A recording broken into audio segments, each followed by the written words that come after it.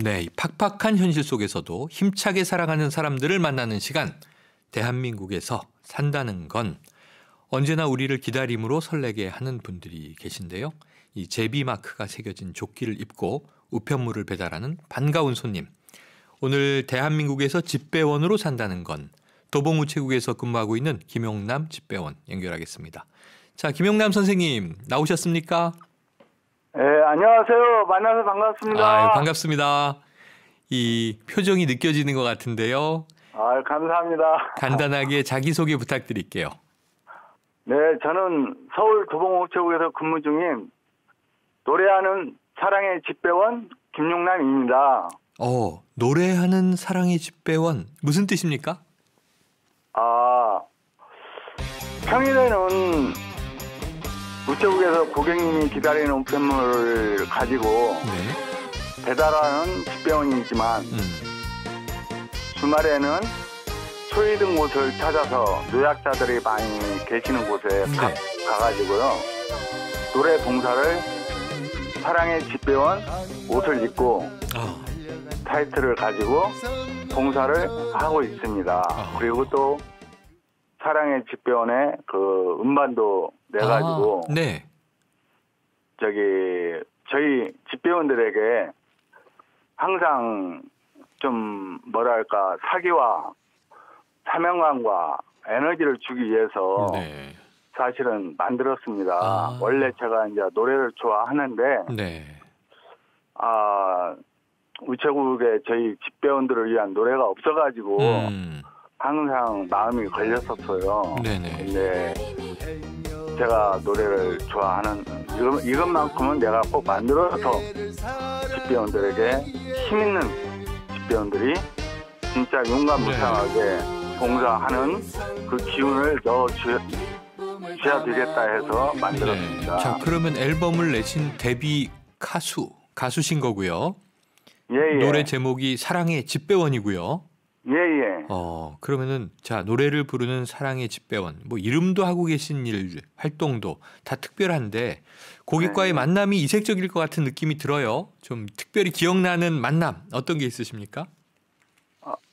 예, 특별히요. 아, 전에는 제가 이렇게 집배 일을 하면서 그 고객분들이 제가 뭐 집배원 가수라는 걸 몰랐었어요. 네, 네, 네. 몰랐었었는데 제가 이제 동사무소에 한번 우편물 배달을 갔다가 네. 그 주민센터에서 노래 교실 그 아.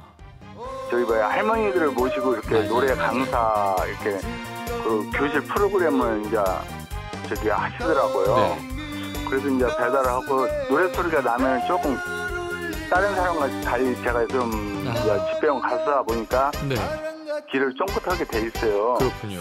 예 예. 그래서 이제 나도 많이 가서 부르는데 아 나 여기서 한번 집배원 보고 있고 근데 이렇게 마침 강사가 보니까 마지막 그 last를 하는 것 네. 같더라고요. 네.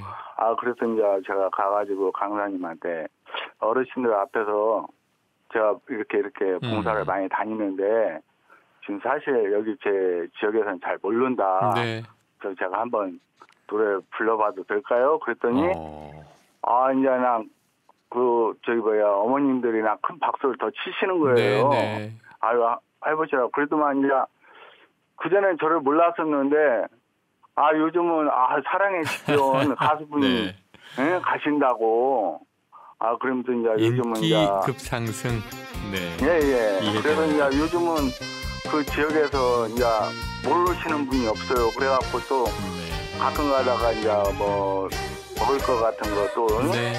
이렇게 했다가 나 지나가면은 주고 먹고 가라고 그러고 아유, 얘기만 들어도 네, 네. 훈훈하네요. 김영남 네. 선생님, 자 이제 네, 본업으로 돌아와서요. 예예 집배원으로 일하신 지는 얼마 되셨어요?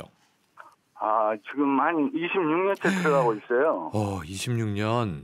예예 그러면요, 지금 하루에 배달하는 우편물의 양은 어느 정도 됩니까? 아 지금은 많이 우편물이 그 첨단 문화 시대에 이제 돌아와서 보니까 인터넷으로 많이 하다가 많이 감소가 됐어요. 네. 그래서 좀 안타까운 일인데요. 음. 그래서 또 이제 우체국에서 제 2차 사업 택배를 지금 하고 있어요. 네. 예, 그래가지고 지금은 이제 더 더욱더 신속하고 정확하게 빨리 네. 고객님 앞에 이 택배를 갖다 드리고 있죠. 그래요. 전 직원 집배원들이요. 자, 그럼 오늘 이 시간에는요. 지금 네, 퇴근을 하신 겁니까? 업무가 끝나신 시간인가요? 예, 끝났습니다. 어, 그래요. 예, 예. 자, 그럼 우편 배달 하시면서 집배원으로 26년째 일을 해 오시면서 예, 가장 힘든 점은 어떤 거세요? 뭐 힘든 것은 뭐 저기 눈 비올 때가 좀 힘들지요. 아, 길도 그렇겠네요. 여건상 안 좋고 음, 또 이제 왜 저희들은 항상 그 고객님들과 이렇게 약속이 정해져 있어요. 네. 몇 시에서 몇 시까지 간다고. 근데 어. 이제 눈이나 비가 많이 올 때는 그 고객님들도 급한 경우가 많잖아요. 밖에 그렇죠. 가서 그렇죠. 볼 일들도 많고 네. 그러면은 나 전화도 안 될 경우에는 무척 안타깝고 음. 그래서 이제 참 그런 때가 있어요. 그래서 마음이 급하죠. 아, 그런 때는 그 이제 잘못하면 그런 게 사고로 이제 이어지지는 않을 안 해야 되는데 네. 사람이 마음이 급하다 보면은 음. 약간의 그런 문제가 좀 발생할 때가 있을 때가 좀 안타까워요. 자, 그럼 김용남 선생님 이런 예, 예. 문제를 좀 해결해 하고 업무가 개선되기 위해서는 예, 예. 어떤 노력이 좀 필요하다고 말씀 주시고 싶으세요? 아 사실은 이제 지금 많이 이렇게 편리한 시스템이 지금 자꾸 도입이 되는데요. 네. 아직까지도 이제 좀 집배원에 이제 조금 뭐랄까 인력 상승이라 할까요? 네네. 예, 그게 좀 이제 앞으로 그게 조금 부합만 되면은 네. 아마 좀 편하게 우리가 예.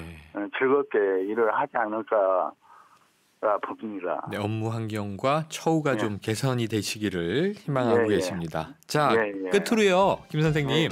예, 예. 자, 대한민국에서 집배원으로 산다는 건 뭐라고 말씀해주고 싶으세요? 멋진 인생이다. 와, 최고십니다. 야, 제 표가 하나 있습니다. 네, 표가 뭔가요? 항상 출근할 때 항상 제가 만든 표거든요. 네.